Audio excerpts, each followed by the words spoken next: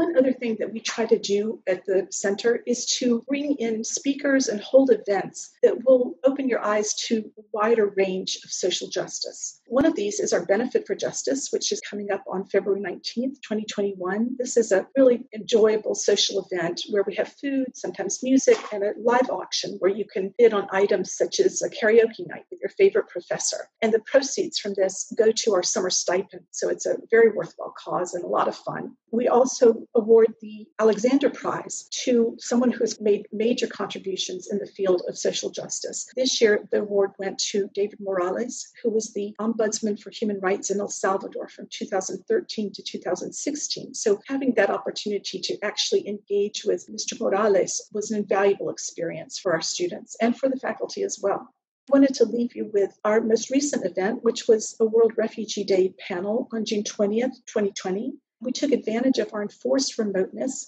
to bring together a worldwide panel. On the left here is Professor Marianne Kenny from Western Australia and our own Professor Deep Gulasekaram. Then Maite Garcia, who represents individuals at the border, providing direct representation. And then finally, Father Luis Arriaga, a Jesuit lawyer and priest who is from Guadalajara, Mexico. So these four got together to give us a worldwide view of the situation of refugees today.